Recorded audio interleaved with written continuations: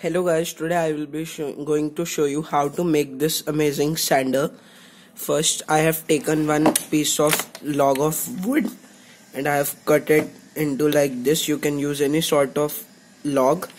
Then I took out motor from this, I took a DC motor and attached it to the on off switch and I have hot glued it in the front I have attached this uh, fan as you can see right here and it spins.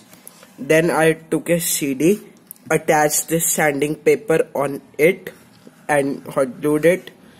And also I hot glued this. Then I made the connections and here's some extra wire. And then I installed a plug on it as you can see right here. I have installed a plug for it and now you can hold it like this or just keep it on the table and it will stand for you. See? Thank you